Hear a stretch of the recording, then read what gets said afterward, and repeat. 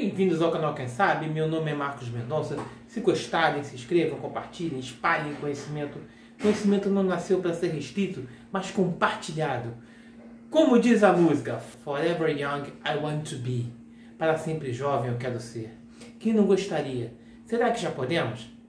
Vamos descobrir.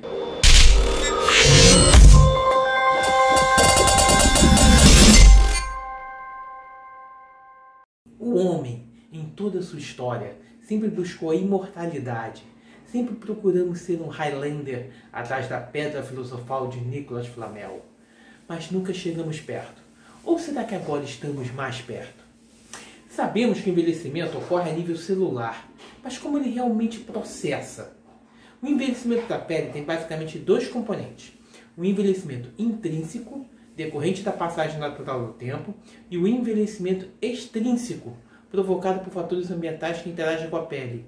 Dentre eles, o mais conhecido é o fotoenvelhecimento, causado pela exposição ao sol.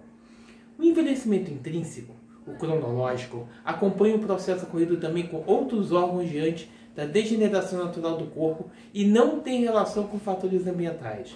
Com o passar dos anos, as células diminuem sua capacidade de renovação e cai drasticamente a produção de fibras de colágeno e elastina, que confere a firmeza e a tonicidade. Assim, a pele perde elasticidade e se torna mais fina e flácida, passando a apresentar rugas. A menor atividade das glândulas sudoríparas torna a pele mais seca e a diminuição da microcirculação sanguínea reduz sua vitalidade e luminosidade. Além disso, efetuamos todos os dias mais 1.500 contrações faciais, que marcam a epiderme na forma das linhas finas e rugas de expressão. O processo de envelhecimento cronológico acentua as rugas de expressão, que tendem a ficar mais profundas e marcadas. O primeiro laboratório biomédico dos Estados Unidos totalmente dedicado a pesquisar o envelhecimento, foi criado em 1999. Desde então, chegou-se a duas conclusões. Primeiro, que é possível modificar o ritmo de envelhecimento em animais, modificando a genética e a alimentação. E segundo, que o processo de envelhecimento é um gatilho que faz surgir diversas doenças crônicas da idade avançada. Em 2017, pesquisadores americanos podem ter descoberto uma maneira bem prática, até demais, de retardar o envelhecimento. Eles concluíram que exercícios de alta intensidade podem deixar uma pessoa nove anos mais jovens do que a idade apresentada em sua certidão de nascimento. Nove anos mais jovem. Boa. O estudo publicado no periódico Preventative Medicine relaciona o envelhecimento do ser humano com os telômeros das células. A principal função dessa estrutura é impedir o desgaste do material genético e manter o cromossomo estável. O problema é que cada vez que uma célula se reproduz, os telômeros encolhem, e quanto mais eles diminuem de tamanho, mais a pessoa envelhece.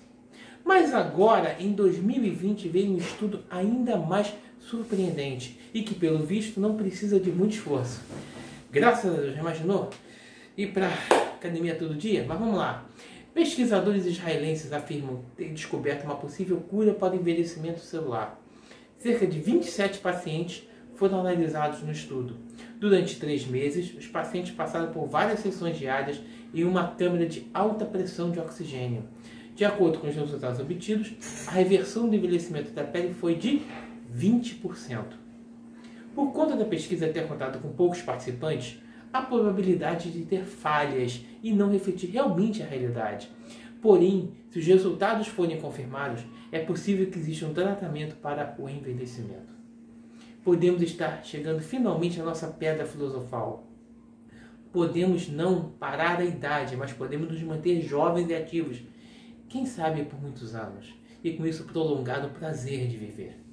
Se gostaram, comentem, espalhem, dê seu like, torne esse canal cada vez mais conhecido nessa internet. Sejam os arautos do conhecimento, o pólen da fertilização da cultura. Cara, foi longe demais nessa, hein? Nossa. Mas vamos lá. Até uma próxima e vida longa e próspera a todos. Tchau, tchau.